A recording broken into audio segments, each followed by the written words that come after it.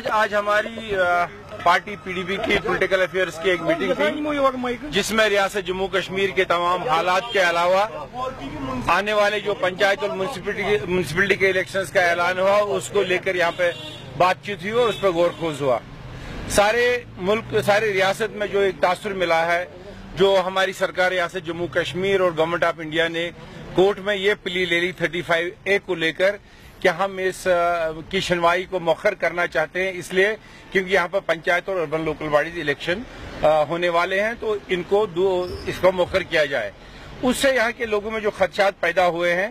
شاید صحیح نہ ہوں صحیح ہو یا نہ ہوں، لیکن خدشات یہ ہیں کہ شاید تھرٹی فائیو اے کو لے کر کوئی ارادہ ہے کچھ مسچف ہونے کا یا کوئی ٹنکر ہونے کا، تو اس لیے گورنمنٹ جلدی میں ہے کہ یہاں پہ الیکشنز ہو جائیں۔ تو اس لیے جب تک ان خدشات کا ازالہ نہ ہو اور الیکشن سے پہلے جنرل جو ٹرینڈ ہوتا ہے جب ہم سرکار میں تھے، تو ہم نے ایک آل پارٹیز میٹنگ بلائی تھی۔ آج کوئی کنسلٹیٹو میکنزم ابھی نظر میں نہیں ہے، دکھائی نہیں دے رہا ہے کہ الیکشن کیسے ہونے جا رہے ہیں اور ان میں سیکورٹی کا کیا ماحول رہے گا۔ تو جب تک ان خدشات کو دور نہیں کیا جائے گا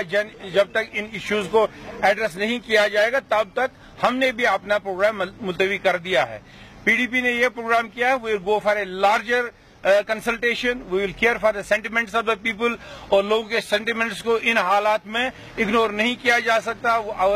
Party is a pro people party اور ہم آئین کی تشخص کے لیے پیدا ہو گئے ہیں اور اس پر ہم کام کرنا چاہتے ہیں۔ اس لیے after larger consultative mechanism and after all these issues will be address will take a final call on this and you will be conveyed accordingly صاحب آپ نے ابھی اس میں کلیئر نہیں کیا جس طرح کل نیشنل کانفرنس نے کلیئر نہیں انہوں ان کی وہ